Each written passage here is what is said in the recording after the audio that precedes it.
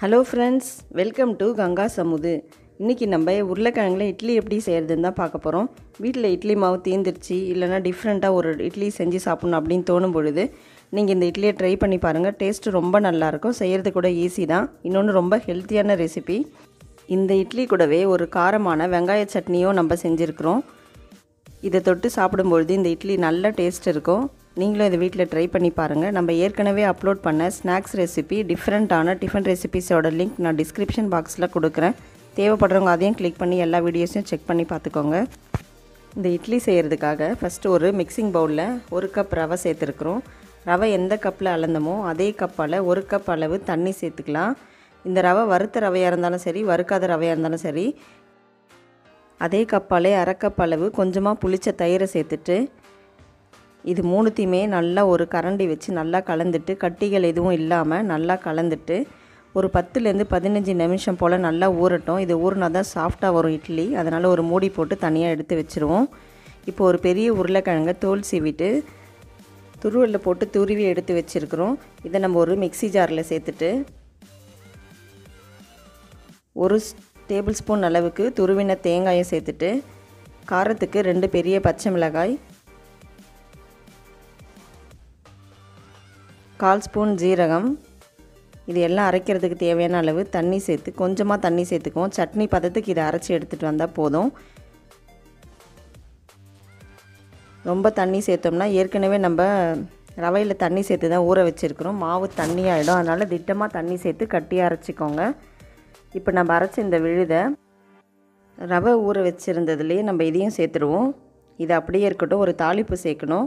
இப்போ வானல் நல்லா காஞ்சதும் கொஞ்சமாக எண்ணெய் எண்ணெய் நல்லா காஞ்சதும் கடுகு. கடுகு பொரிஞ்சதும் ஒரு டேபிள் ஸ்பூன் உளுத்தம்பருப்பு ஒரு டேபிள் ஸ்பூன் கடலைப்பருப்பு. இது ரெண்டுமே நல்லா கொஞ்சம் செவந்து நிறம் மாறினதும் பொடியாக கட் பண்ணி வச்ச கருவேப்பிலை. கருவேப்பிலை பொரிஞ்சதும் கால் ஸ்பூன் பெருங்காயத்தூள் சேர்த்துட்டு இதே நல்லா கலந்துட்டு அடுப்பை ஆஃப் பண்ணிவிட்டு இதை லேசாக ஆறுனதுக்கப்புறமா நம்ம மிக்சிங் பவுலில் இதை சேர்த்துடுவோம் இதெல்லாம் சேர்த்ததுக்கப்புறமா இந்த எல்லா கலவைக்கும் தேவையான அளவு உப்பு சேர்த்துட்டு இது எல்லாத்தையும் நல்லா கலந்துருவோம். இந்த டைமில் நீங்கள் கரைக்கும் பொழுது மாவு தண்ணியாக உங்களுக்கு தோணுச்சுன்னா ரெண்டு டேபிள் ஸ்பூன் அரிசி மாவு சேர்த்துக்கோங்க. கடைசியாக கால் டீஸ்பூன் பேக்கிங் சோடா அப்படி இல்லைன்னா ஆப்போ சோடான்னு சொல்லுவோம் அதை சேர்த்துட்டு இதையும் இது கூட சேர்த்து நல்லா கலந்துட்டு இட்லி ஊற்றிட வேண்டியது தான் நமக்கு இன்ஸ்டன்ட் இட்லி மாவு ரெடி ஆகிடுச்சு இதை நம்ம வழக்கம் போல் இட்லி ஊற்றுற மாதிரி ஊற்றிட்டு மூடி வச்சுருவோம். அடுப்பை மிதமான தீயில் வச்சு ஒரு அஞ்சுலேருந்து ஏழு நிமிஷம் போல் வேகட்டும்.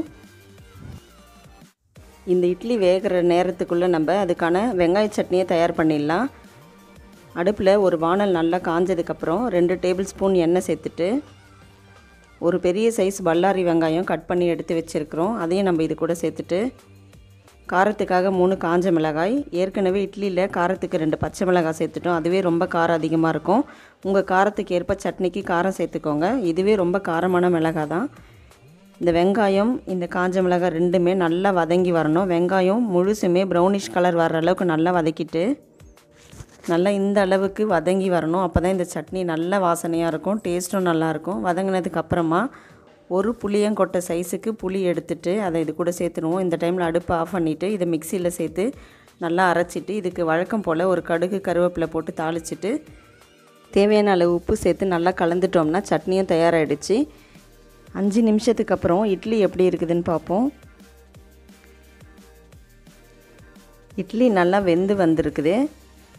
இப்போ நம்மளுக்கு இட்லியும் தயாராக இருக்குது சட்னியும் தயாராக இருக்குது. இது சூடாக சர்வ் பண்ண வேண்டியது தான் இது ரொம்ப டேஸ்ட்டாக இருக்கும். இந்த இட்லிக்கும் வெங்காய சட்னிக்கும் ஒரு நல்ல பெஸ்ட்டு காம்பினேஷன் நீங்களும் ட்ரை பண்ணி பாருங்கள் உங்களுக்கு இந்த ரெசிபி பிடிச்சிருந்ததுன்னா இதே அளவுகளோட நீங்கள் வீட்டில் ட்ரை பண்ணி பாருங்கள் நம்மளோட சேனலை சப்ஸ்கிரைப் பண்ணாதவங்க சப்ஸ்கிரைப் பண்ணிவிட்டு பக்கத்தில் இருக்கிற பெல் ஐக்கனையும் கிளிக் பண்ணி ஆல் அப்படிங்கிற ஆப்ஷனை சூஸ் பண்ணிக்கோங்க. அப்போ தான் நம்ம போடுற ஹெல்த்தி வீடியோஸ் உடனுக்குடன் உங்களுக்கு நோட்டிஃபிகேஷனாக வரும். வீடியோவை உங்களோட ஃப்ரெண்ட்ஸ் அண்ட் ரிலேட்டிவ்ஸ்க்கு ஷேர் பண்ணிவிட்டு வீடியோக்கு ஒரு லைக் கொடுத்துருங்க. தேங்க்ஸ் ஃபார் வாட்சிங்